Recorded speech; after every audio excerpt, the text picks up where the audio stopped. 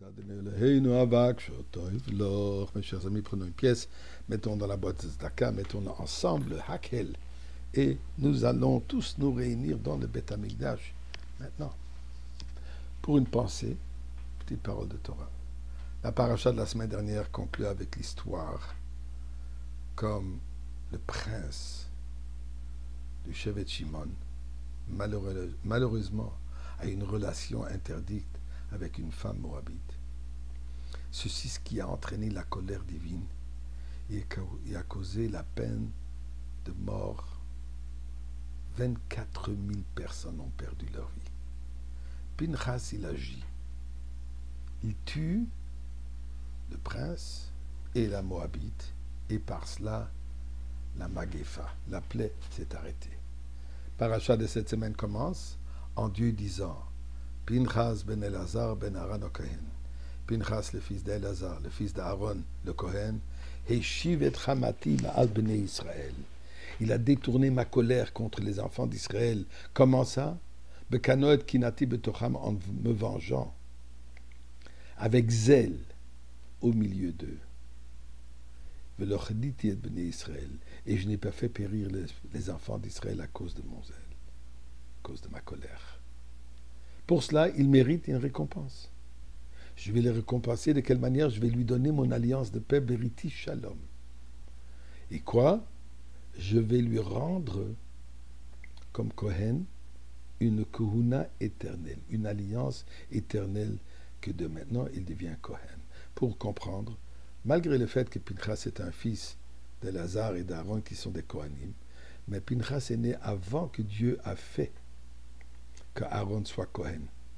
Et avant que Dieu donc a donné la Kohuna aux descendants d'Aaron à Cohen, lui il était déjà né. Et dans la proclamation de Aaron et Elazar, Dieu n'a pas proclamé alors Pinchas. Maintenant, dû à son action, à son acte de vengeance de l'honneur de Dieu, Dieu lui a fait comme Cohen. Qu'est-ce que c'est comme récompense? Puisqu'il agit d'une manière avec chaque fois qu'on fait une mitzvah, chaque fois qu'on fait quelque chose pour Akadosh Baruch on va devenir des Kohanim.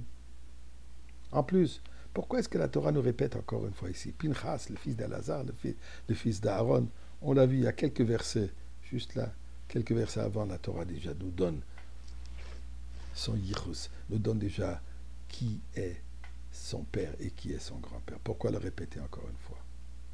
Bien, vous connaissez tous la blague, cet individu qui vient chez le rabbin et lui dit Écoutez, je voudrais me convertir en Kohen. Le rabbin de lui dire Désolé, mais il n'y a pas une cérémonie, qui, il n'y a pas un système pour se convertir en Kohen. Rabbin, pour 100 000 dollars, est-ce qu'on peut le faire? Et le rabbin lui dit Écoute, pourquoi tu insistes? C'est pas que tu viens régulièrement à la synagogue que tu as besoin de monter au Sefer comme Kohen à peine qu'on te voit la. Il dit, non, non, monsieur le rabbin, c'est pas rien à voir. Je n'ai pas l'intention de devenir religieux, mais tout simplement, je vais garder ma tradition. Mon père était Cohen, mon, mon grand-père était Cohen, toute ma famille était Cohen, je veux moi aussi être Cohen.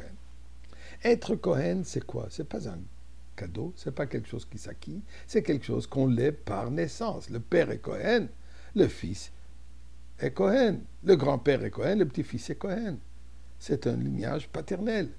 C'est quoi cette idée que Dieu lui dit, je te donne en cadeau, en récompense de devenir Cohen Eh bien, Rachid nous dit la chose suivante.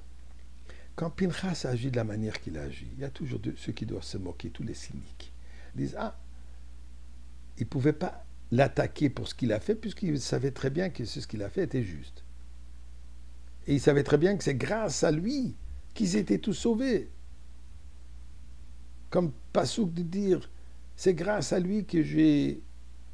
Ma colère a été atténuée et je n'ai pas tué tout le peuple. Mais alors qu'est-ce qu'on fait? On va attaquer ses raisons. Ils disent, ah, la raison pourquoi Pinchas l'a fait n'est pas puisque il voulait se venger de l'honneur d'Akadosh Baruch, mais tout simplement parce que c'est une personne qui a de l'agressivité en lui. C'est un tueur de par sa nature. Preuve à la pluie, c'est un petit-fils de Yitro. Sa mère, donc l'épouse d'Elazar, était une fille de Yitro. Yitro, elle était considéré un homme agressif. De quelle manière? Avant qu'il offrait ses offranses aux idoles qu'il servait, dans lequel il croyait avant qu'il s'était impliqué avec Am Israël, avec le peuple juif, il pitem, il engraissait le bétail pour, pour, mieux les tuer. Ça, c'est un acte d'agressivité. Alors ils disent, la raison pourquoi il a fait, c'est puisqu'il est un petit-fils de Yitro. Il a pris la nature de sa mère, de son grand-père. Dit la Torah, non. Pinchas est un petit-fils d'Elazar et d'Aaron. Qui, est Aaron Aaron, c'est un homme de paix. Ohef Shalom, Verodef Shalom. Le Kohen, c'est un homme de bénédiction. Dit la Torah, témoigne la raison pourquoi il a fait, c'est puisque sa bonté, pour son amour du peuple juif, il a agi de cette manière. Et d'ailleurs, nous allons tous être des Kohanim. Comment? En agissant avec amour vers le prochain, on va tous être Kohen dans le Beth